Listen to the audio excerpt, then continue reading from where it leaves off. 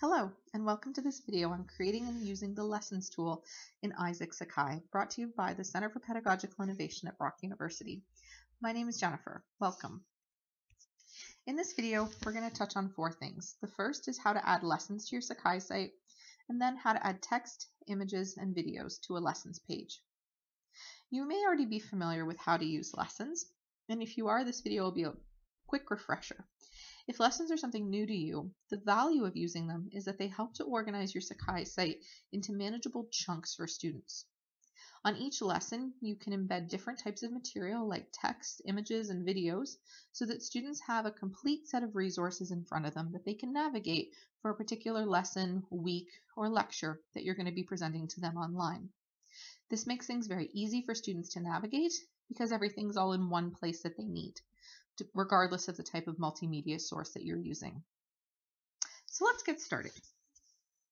So this is a standard Sakai page with a few of the default features included on the left toolbar. The course overview site, site info, and help.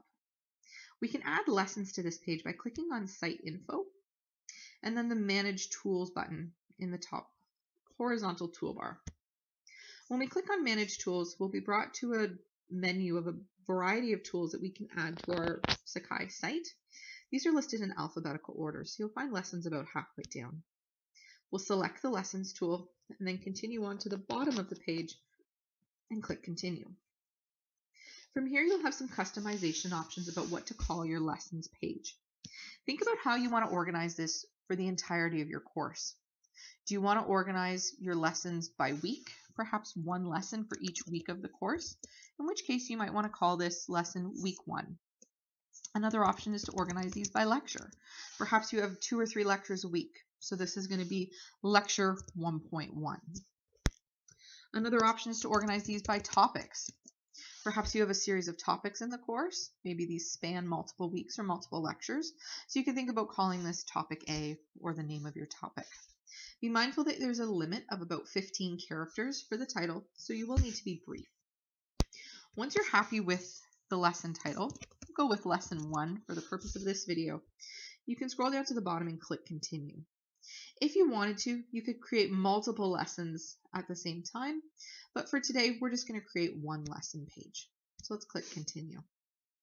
Sakai will make sure that this is what you want to do and that you're happy with your decision to create a lesson. Once you are, you can click finish. At that point, the lesson is going to show up in the left-hand toolbar. Your students are able to see the lesson at this point, and when they click on it, or when you click on it at this point, it's just a default screen to help you upload some material to the site. If you're building lessons while the course is already underway, it can be a good idea to hide it from students while you're still designing the material. This way your students aren't in there getting confused as you're adding and taking and changing material as the course is underway. Once you're happy with the content, you can then unhide the page from students so they're able to see it in its finished form. To do this, you're going to click on the cog button here, and then you'll choose the hide this page from users. By clicking on that and then selecting the save button, you will still be able to access the lessons tool, but your students won't be able to see that. And that's denoted by this icon that appears on the lesson. In order to undo it, we just simply go back into the same menu, unclick the hide page option, click on save, and once again, the lesson is visible to your class and students. So let's get started with adding text, images, and videos to your lesson page.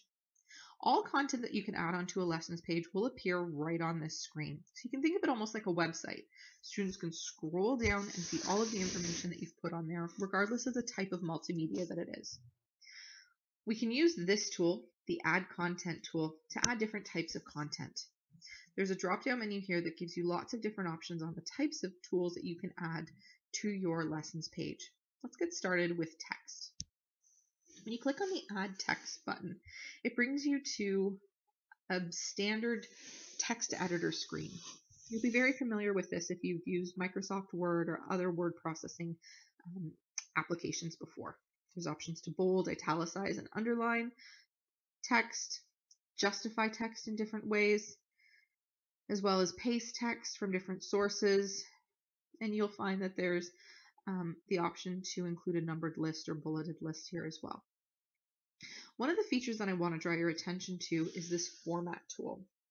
By clicking on the format tool, you'll be brought to an area where you can choose different pre-designed headings. Headings are a really good idea to use as a text option for organizing your information in a Sakai lesson for a couple of reasons. The first is that it makes it very easy for students to navigate the material, as they'll be able to determine the hierarchy of the information that you're presenting. The second reason is that screen reader software is able to help students navigate through the page. So if a student is using a screen reader, it'll be easier for them to navigate through the different chunks or content within the text. So let's get started with using uh, adding some text to the page. We'll use heading 1, perhaps to give this lesson a title. Perhaps the title of the lesson is Neuron Anatomy and Function. From here, we may have some subheadings that we want to include. Perhaps the first subheading is Neuron Anatomy. And then we'll go back up here and we'll click on the normal paragraph font to include some more information about neuron anatomy.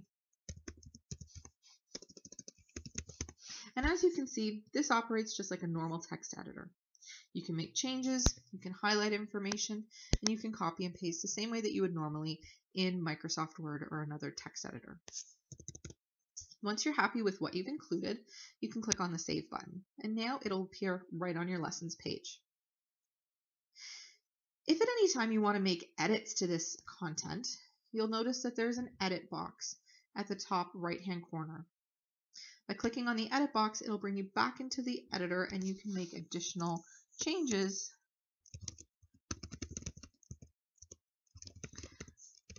that you didn't already have in the text. Again, clicking on save, and it'll uh, bring you back to the lessons page so you can see what you've created. Let's add another feature. Let's add an image this time. You have a couple of different options on how to add more content to your lessons page. You can use this box again, and what will happen is it'll add the content right below whatever you were just working on. This plus button here will do the same thing. Or if you want to add something above this particular piece of text, you can add this button here and it'll add the information above it. Let's go ahead. We'll try this button this time. We'll click on the plus button and we'll once again see this familiar um, drop down menu where we can pick the different type of content we want to embed on the page. So let's select embed content on page. This allows us to choose a file to upload to the page. So I've saved an image to my desktop that I'd like to upload onto the page. And you'll see that by clicking on the browse option, it brings me right to my desktop. I can pick the image that I'd like to upload. And then I can click on open and it'll upload the image there. We'll click on save and the image will automatically be uploaded to my Sakai Lessons page. There it is. You're not quite done yet though at this point. You're going to want to edit this image by clicking on the edit button for two reasons. The first one is if you want to change the width or height of the image, you can do that here, but you definitely will want to add alt text. Alt text is the text that'll be read to a student who's using a screen reader software to navigate through the lessons page. So it's important for any images that are essential to the learning in the course that you include alt text that describes the image. So let's include that now.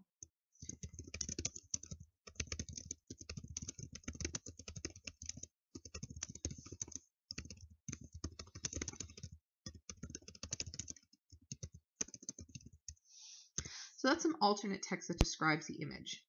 What you can do here is you can actually select this particular alt text, and if you copy it, you can include it in the item description. The item description will be a caption that appears below the image. This is a good practice as well, as it helps students who are using a screen reader or who are not using a screen reader navigate and understand what the image is better. Once you're happy, you can click on Save, and the image will be updated. So you'll see now that the caption appears below, and if you were using a screen reader software, once it arrived at this image, it would read out the alt text to the student. Let's add some video now to our site. And let's decide that perhaps we want to include this um, below this image. So we'll click on the plus button again, and now we're going to click on add text. I know that seems like a um, interesting choice, but you'll see why in a second. We'll add text, and in this area we have two options. We can either add a uh, video from Echo 360, Brock's video streaming platform, or we can choose to add a video from YouTube. Let's start with the YouTube option. So once we have a video that we're happy in with in YouTube that we found, and we want to share it on our Sakai site, we'll go to the YouTube and click on the share button that appears under the video. From here, we'll select the embed option, and you'll see a code comes up that we can copy using the copy button here. Let me go back into our lessons tool. We'll click on source, and then we'll simply paste that code from YouTube right into the source. We can then click on save and you'll see now that the YouTube video that we wanted to include appears right into our lessons page. We don't have to have students leave Sakai to go to YouTube. They can watch the video right from here, right in the lessons page. And it has all the same features and functionality that students would normally find in YouTube, such as captioning or changing the playback speed. If you have videos in Echo 360, you can also add them here into your lessons page. Again, we'll click on the plus button, either at the bottom to add it below the last thing that we included on the page, or we can click the plus button to add it above. So in this case, I'm going to click on this just to show you what it looks like to add information above. So we'll click on the plus button. We'll once again choose add text. And here, instead of using a source feature, we're going to use this button over here. This is the Echo 360 Media button, and it brings you to your Echo 360 site. If you haven't uploaded videos to your Echo 360 site yet, you can contact a member of the CPI's Educational Technologies team at edtech at brocku.ca, and they'd be happy to help you navigate that uh, platform. So let's click on the button, and that'll bring us into our Echo 360 um, menu of videos. Once we're in here, we can select the video that we want to include. And it'll give us some options about uh, autoplay, auto mute, and link. It's best to leave these as the defaults as this is what will make it most accessible and easy to use for students. We can insert the video now and it'll appear here. It does it shows up as an iframe, but don't worry, when you scroll down and click save on the lessons page itself, you'll see that it's been added and students can add uh, navigate this again just like they would if they were watching the video elsewhere. They can play it right in the lessons page, navigating through it like they normally would. One last feature about the lessons tool is that you, as I mentioned, can edit anything if you want to go back later and make any changes. If there's anything that you decide you no longer want to include, you can also use the trash can button that appears above each piece of content to delete it. So if you no longer want to include this video, simply click on the trash can button. It'll ask you if you're sure you want to delete this, and you can say yes, and it automatically is removed from the lessons tool. You can also reorder the material that you've put on your lessons page using the reorder tool. Here, you just simply drag and drop the tool, the content in the order that you want it to appear in, clicking on save, and it'll reappear in the order that you prefer. At this point, your lessons page is ready for your students to navigate through. If you decide you want to add another lesson to your site, simply go back into Site Info, click on Manage Tools again, and scroll down to the Lessons button. Reselect Lessons, click Continue, and here you can create another lesson. So we'll create Lesson 2, we'll click Continue, Finish, and then you'll see lesson two appears in the left-hand toolbar and you're ready to create another lesson. We hope that you found this video informative. If you require more support or would like more information, please click on the links below this video on the website or visit brocku.ca slash pedagogical innovation. To get in touch with a member of the CPI team, you can always email cpi at brocku.ca. Have a great day!